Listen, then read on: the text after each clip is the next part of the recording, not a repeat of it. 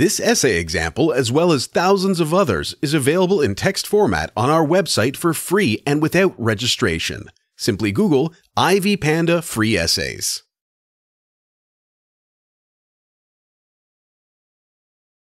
I attended my elementary reunion two years ago, where I met some of my former classmates.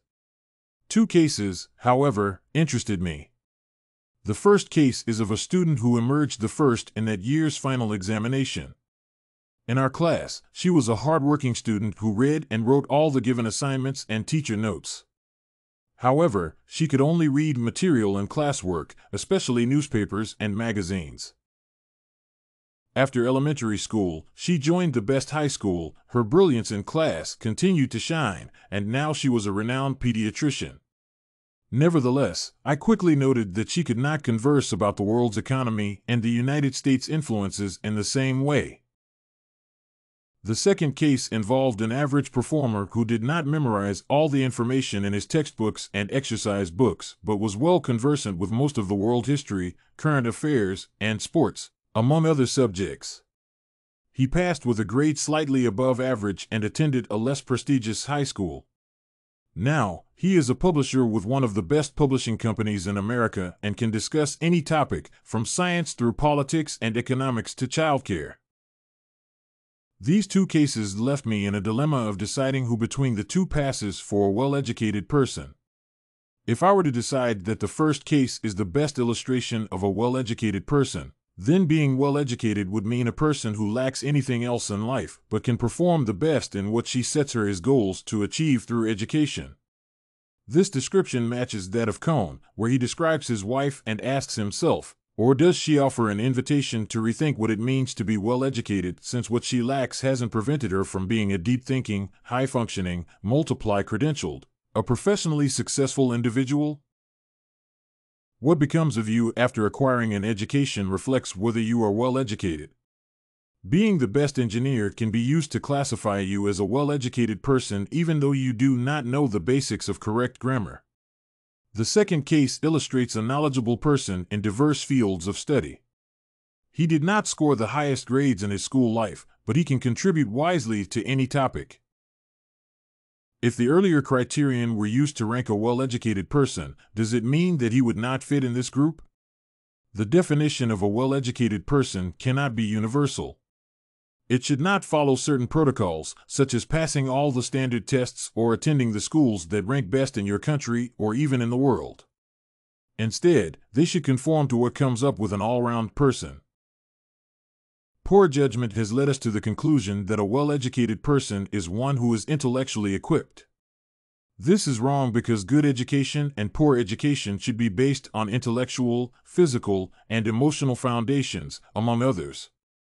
The bias on understanding this concept leans so much on the intellectual side that all other values that a well educated person has escaped the mind. For instance, if Mother Teresa could not write even the simplest algebra, should we say she was poorly educated? Our minds focus mainly on intellectuality, and the other core values, such as morality, remain passive in any judgment. In Muller's book, To the Point, Reading and Writing Short Arguments, Ellen Goodman is angry with educators and authors who do not include religious teaching in their work. Goodman understands the value of religion in people's lives, but educators and authors are different.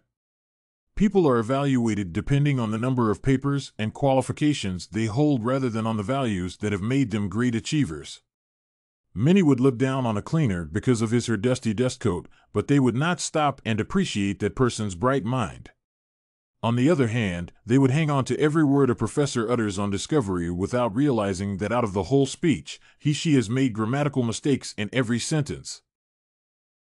A well educated person should know the purpose of education and not hold as many degrees as the programmed education system allows. The purpose of education is to give a person satisfactory information to make him reproductive economically, socially, and even morally.